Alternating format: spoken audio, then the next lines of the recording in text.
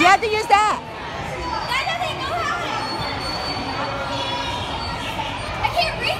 I don't know.